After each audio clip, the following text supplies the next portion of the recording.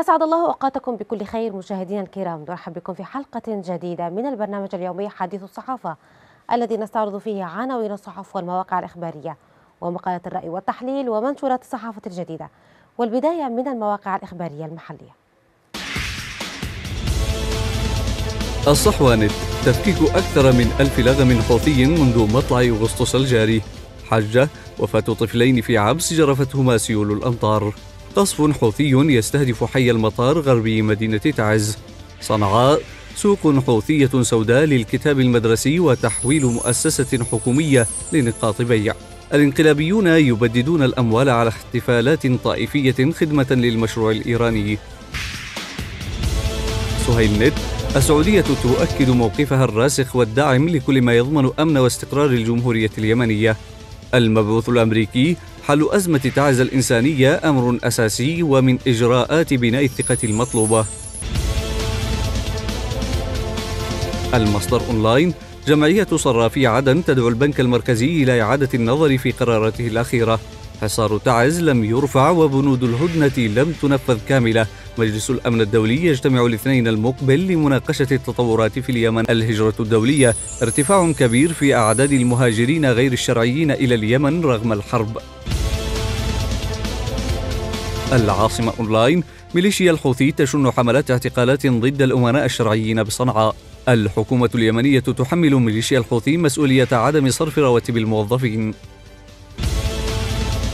ناشطون وسياسيون يجب إقالة محافظ شبوة لإطفاء نار الفتنة التي أشعلها. ارتفاع ضحايا السيول في اليمن إلى ثمان وفيات معظمهم أطفال خلال 24 ساعة.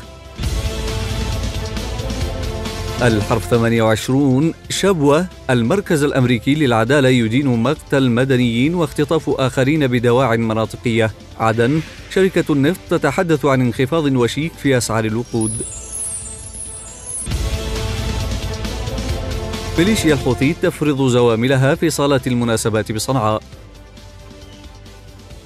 كانت هذه جولة في الصحافة المحلية. ننتقل إلى جولة أخرى في الصحافة العربية. الاتحاد ابن مبارك ملتزمون بتحقيق العدالة لكل اليمنيين. الخليج غورندبرج يحرك الجهود لتحويل هدنة اليمن إلى سلام دائم. مكة الحوثي يستغل السيول وينهب المساعدات الأممية. عكاظ السيول تغرق صنعاء والحوثي يقصف قبائل همدان بالأسلحة الثقيلة. البلاد الحوثي يختطف موثقي العقود وينهب إيرادات النفط. من عناوين الصحف إلى مقالة الرأي والتحليل وفيها نطالع ما نشره موقع المصدر أونلاين للكاتب الصحفي عبد الله المنيفي تحت عنوان بين معابر غزة ومنافذ تعز. أشار الكاتب في مقاله إلى تنصل جماعة الحوثي من كل الاتفاقات الإنسانية التي تتعلق بفك الحصار على مدينة تعز مؤكدا أن لدى اليمن عدو تجرد من كل القيم الإسلامية والإنسانية مستشهدا في الوقت نفسه باتفاقية أوكرانيا وروسيا التي سمحت بتصدير حبوب القمح رغم الحرب وكذلك بفتح العدو الصهيوني معبر طول كرم للسماح بدخول المشتقات النفطية إلى غزة المحاصرة.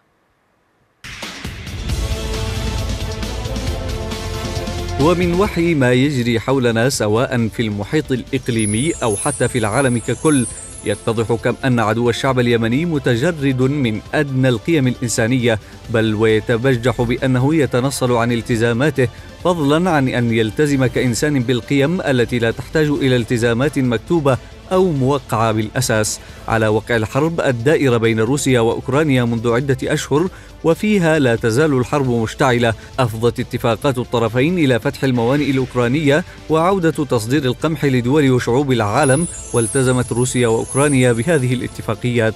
ومؤخرا أفضت الاتفاقات الأخيرة بين حركة الجهاد الإسلامي الفلسطينية وإسرائيل إلى فتح معبر كرم أبو سالم ودخول شاحنات الوقود إلى غزة في اليوم التالي لوقف الحرب. وهذا مع الكيان العنصري المحتل الذي يشبه كثيرا الحوثيين حد التطابق إلا أنه يلتزم بما وقع عليه مخالفا بذلك الجماعة العنصرية التي تواجه الشعب اليمني. ما أود الإشارة إليه أن الدول والحكومات مهما كان بعضها محتلا أو عنصريا تحترم الاتفاقات الموقعة وتراعي الجانب الإنساني في ظل الحرب وتسمح بعبور المتطلبات الضرورية لحياة الناس. لكن ميليشيا الحوثي تشد عن هذه القواعد والأعراف الدولية أو لنقل الإنسانية. تشد دون أدنى حرج كما أنه ليس في قاموسها مكان لحقوق الإنسان بل إن الإنسان لديها مجرد بيدق يموت من أجلها أو يموت بيدها. وكثيرا ما تتبجح قادتها بأن حقوق الإنسان لا معنى له في منهجيتهم العنيفة وهو ما واجهوا به المختطفين المدنيين الذين فكروا في الإضراب من أجل حقوقهم كمختطفين فقط. لكنهم قالوا لهم موتوا فنحن لا نعترف بهذه القيم. نتحدث عن جماعة عنصرية عرفها الشعب اليمني من أول يوم لتمردها في كهوف مران لا تحترم اتفاقا ويكفي للتدليل على ذلك ما يجري في تعز من حصار مستمر تفرضه ميليشيا الحوثي منذ ثمان سنوات وكان على ميليشيا يدعي كهنتها أنهم أولياء الله وأوصياؤه على خلقه ألا يخنقوا خمسة ملايين يمني في هذه المدينة بحصار قاتل ويعززونه بقصف مستمر ضحاياه أطفال ونساء. ورغم ذلك مع الجهود الدولية فقد توصلت الحكومة اليمنية وميليشيا الحوثي إلى هدنة مطلع إبريل الماضي والتزم الحوثي نظريا ببنودها وعلى رأسها فك الحصار عن تعز وفتح الطرقات لكن الطبع غلب التطبع والنقض والنكث سمة الحوثي التي لا يمكن أن يتخلى عنها. ونحن في الشهر الخامس من الهدنة لا يزال الحوثيون يمارسون أسلوب المراوغة ومنهجية الهروب من الالتزام بالاتفاقيات ويمعنون في حصار تعز وقتل المدنيين وقنصهم في منازلهم وزرع الألغام في طرقهم وقصف منازلهم وممارسة كل أنواع الإرهاب. موقع المشهد اليمني نشر مقالا للكاتب الدكتور ياسر الشرعبي بعنوان نحن ضمير النصر. الكاتب في مقاله أكد أن استعادة العاصمة صنعاء لن يتم إلا بتوحيد جميع اليمنيين تحت راية واحدة تحقق النصر وتبني دولة العدل والمساواة.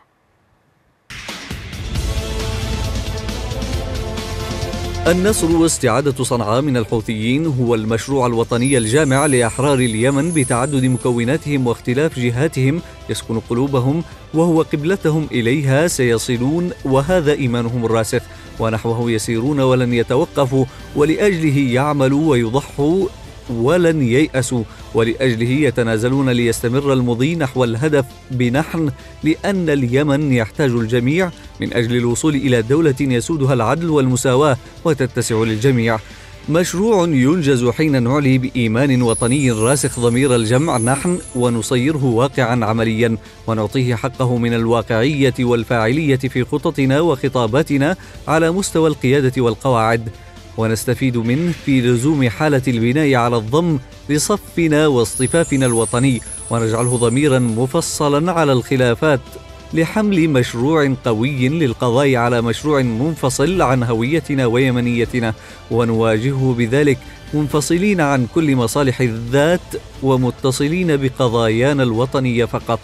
إن ضمير النصر نحن قد جنى عليه ضمير الأنا بتعدد صوره وتصوراته وشكله وتشكلاته وأصاب مشروعنا الوطني وأنهكه وأعاقه لسنوات وأتاح للحوثيين منافذ يلجؤون منها إلى كياننا نحن لخلق الصراعات بيننا والعيش عليها وشغلنا بالأنأ عن قضيتنا بل والاشتغال به وله والشرود أحيانا عن الوجهة الحقيقية صنعاء ولم نستطع مواجهة تلك القرصنة بضمير نحن الذي يفزعهم ويجعلهم يتخيلون حلمهم وهو يتلاشى وهم يبحثون عن مخابئ إليها يعودون.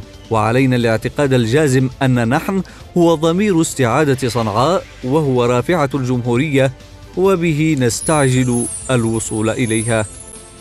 ننتقل الآن إلى الصحافة الجديدة والبداية من الفيسبوك. منشور حمزة المقالح في صفحته بالفيسبوك. قارن بين مشروع الإمامة الذي يقوض الجمهورية ومشروع التفتيت الذي يقوض الوحدة الوطنية. الإمامة تقوض ثابتا وطني وهو الجمهورية ومشاريع التفتيت تقوض ثابتا وطني وهو وحدة التراب الوطني. مشاريع التفتيت تسند وتركي للإمامة التغاضي عن هذين الخطرين بتعظيم أحدهما على الآخر هو انحياز ضمني لأجندة الخطر الآخر. خطر إسقاط الجمهورية وخطر تفتيت الجغرافيا اليمنية بنفس المستوى من الأهمية ويجب التعامل معهما بنفس الحس الوطني والانتماء للقضية الوطنية.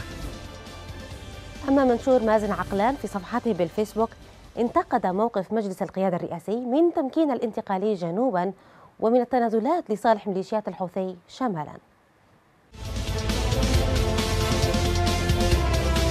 بدل قيادة المعركة الوطنية ضد الحوثي واستعادة مؤسسات الدولة وتحسين الوضع الاقتصادي والمعيشي اقتصرت مهمة مجلس القيادة الرئاسي على تمكين الانتقالي جنوبا والتهيئة لمفاوضات وتنازلات لصالح الحوثي شمالا تحت مزاعم السلام الشامل. عجز هذا المجلس حتى عن رفض تمديد الهدنة الهشة أو فرض شروطه بتنفيذ بنود الهدنة خاصة فتح الطرقات الرئيسية في تعز. منشور حسين الصوفي في صفحته بالفيسبوك تناول السيرة الذاتية لمحافظ محافظة شبوة الذي أشعل نار الاقتتال والفرقة في المحافظة. رجل بلا موقف واضح حتى اللحظة من ميليشيا الحوثي كان في صف الذين سلموا الدولة ومؤسساتها للعدو الأزلي لليمن ورفض حضور جلسات مجلس النواب ورفض كل خطوة من شأنها توحيد الصف الجمهوري وكان غائبا عن كل معركة وطنية ولم يصبه حتى غبار معركة. وفرضوه فرضا بديلا لرجل وطني عظيم اسمه محمد صالح بن عديو. حاول الجميع القبول بهذه المعادلة الوقحة حفاظا على ملهاة بشعة اسمها الصف الوطني. لكن الوقاحة لم تتوقف عند هذه اللحظة وتريد النفوس المريضة المزيفة أن تزايد على حماة الديار وحراس الوطن في وقت لا تزال الدماء طرية. من يتخذ الصف الوطني مطية لسحق الوطن فهو لا يختلف عن أولئك الذين يسمون أنفسهم مسيرة قرآنية وهم في الحقيقة أعداء للقرآن. منشور صالح سعيد الحقب في صفحته بالفيسبوك أكد أن الحل في المناطق المحررة. يكمن في دمج جميع القوات والتشكيلات العسكرية تحت قيادة وزارة الدفاع وما دون ذلك يعتبر ترحيل للمشكلة.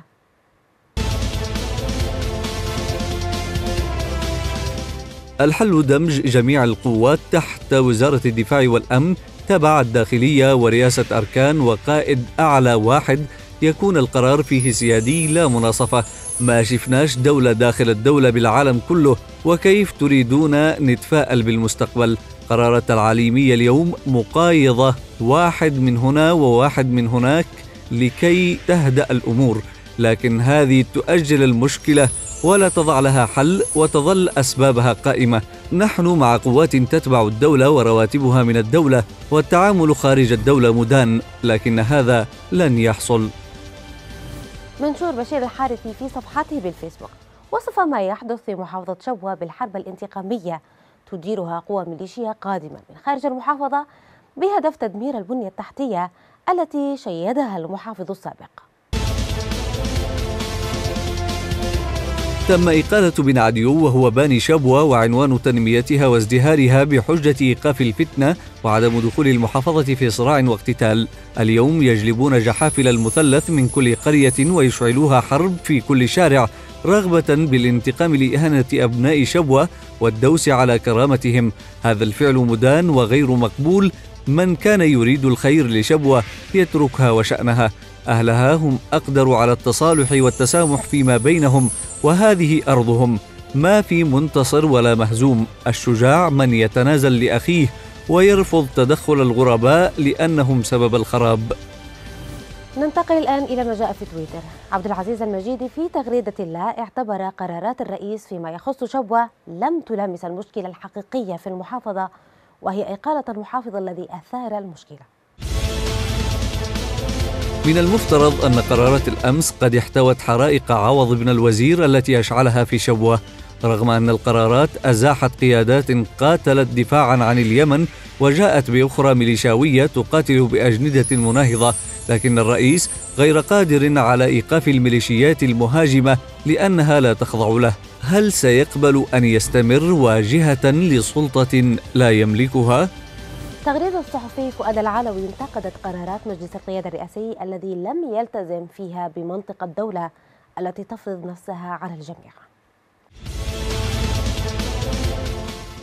لا يجب الحديث عن منطق الدولة بشكل مجتزأ فإما دولة تفرض قراراتها على الجميع أو فدعوا توازنات الحرب التي فرضت نفسها في تشكيل مجلس القيادة الرئاسي تمضي حتى الخلاص من الحوثي. نحن نعيش وضع استثنائي لو سلمنا فيه لمنطق الدولة القانونية لانتفت تشكيلة مجلس القيادة الرئاسي من الأساس. تغريدة مصطفى ناجي بتويتر أشارت إلى مفهوم الدولة التي يجب أن تفرض احترامها بسيادتها على كل الأراضي وليس العكس. الدولة التي نتشدق بضرورة احترامها هي الدولة التي يجب أن تحترم وتسود في عدن ولحج وشبوة وسقطرى وتعز وحضرموت والمخا ومأرب. أما تجزئة المفهوم على ما يشتهي الوزان فهو ضحك على الدقون. قد كان ما كان في عمران ولم يكفي الدرس. هذا الكلام ينبغي أن يوضع في أذن من تبقى في عرقه نبض الميت لا يلام. تغريدة مصطفى القطيبي بتويتر استنكر عدم صدور قرار رئاسي بتغيير محافظ محافظة شبوة الذي هو أساس المشكلة. قرارات مجلس القيادة الرئاسي جيدة رغم عدم قانونية أحدها لكن من أجل إيقاف الفتنة نقول لا بأس لكن المؤسف ألا يصدر قرار بإقالة محافظ شبوة الذي هو سبب إشعال الفتنة بتصرفاته الارتجالية وقراراته التي تفتقد للقانونية. عموما ننتظر إقالته ما لم فتقسيم اليمن يسير وفق ما رسم وخطط. ما الذي تحتاجه محافظة شبوة لفرض الأمن وتحقيق الاستقرار؟ إجابة هذا السؤال في تغريدة علي العقبي على تويتر. شبوة محافظة استراتيجية تحتاج إلى قائد وطني توافقي يتمتع بعلاقات طيبة مع جميع أبنائها على اختلاف توجهاتهم. لا شخص أحمق يمزق نسيجها وينشر الفوضى. إلى مجلس القيادة الرئاسي يجب تغيير المحافظ المسؤول الذي زرع الفتنة وأشعلها قبل أن تتوسع ظاهرة الفوضى التي سيكون لها تداعيات خطيرة. تغريدة عبد الحكيم هلال بتويتر أكدت أن أحداث محافظة شبوة كشفت عن مخطط الإقصاء والتهميش وعدم القبول بالشراكة من قبل المجلس الانتقالي. ما حدث في شبوة يكشف بجلاء أن الانتقالي الجنوبي لا يقبل بالشراكة بل ديدنه التفرد والإقصاء لكل من لا يتفق معه ولا علاقة هنا للأمر بالجغرافيا. المشكلة أن هناك من يدافع عنهم في عمق الشمال معتقدين أن الجو سيخلو لهم. يا حبيبي لم يقبلوا بأبناء الجنوب ما أنت إلا مجرد نكرة عندهم. قرارات العليم الأخيرة لا تصب في مصلحة الدولة. موضوع تغريدة صالح السريمي على تويتر. ما يقوم به العليمي لا يصب في مصلحة الدولة ولا في إصلاح مؤسساتها. ما يقوم به هو عبارة عن تنفيذ أجندة ضد المصلحة الوطنية بمعنى أنه عبارة عن مجرد أداة لإحداث المزيد من حالة الانقسام والاقتتال الداخلي. مخططات محافظة محافظة شبوة لإغراق المحافظة في الفوضى في تغريدة وليد الشعوري على تويتر. لا زال محافظ شبوة يستخدم العناصر المسلحة من خارج شبوة لإغراق المحافظة بالفوضى والحرب والثارات القبلية والمناطقية. يصر ابن الوزير على تنفيذ مخطط الفوضى في المحافظة ضاربا بمشروع الدولة الاتحادية وبمرحلة التوافق الوطني ومستقبل شبوة عرض الحائط. وإلى هنا مشاهدينا الكرام نكون وصلنا وإياكم إلى ختام حلقتنا لهذا اليوم. نلقاكم غدا في حلقة جديدة. إلى اللقاء.